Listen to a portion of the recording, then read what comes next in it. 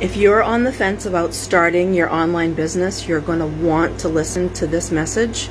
If it doesn't bring you to tears, I'm not quite sure what will. So, a mutual friend of mine put me in touch with someone who is um, essentially homeless.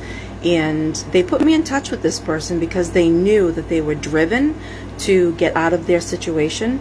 So, I just met with them today, and what they're willing to do, they're going to be going to their local library every single day. They're going to be logging into these systems that we use, these funnels and email autoresponders and blah, blah, blah, blah, blah, all the systems that we can use as affiliate marketers. They don't even have a cell phone.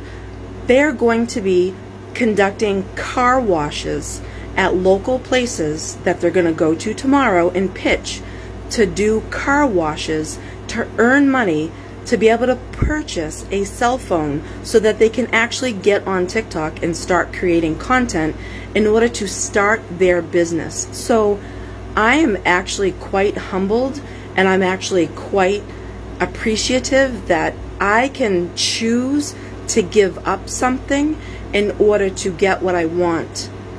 This story is just so compelling. They have nothing to give up.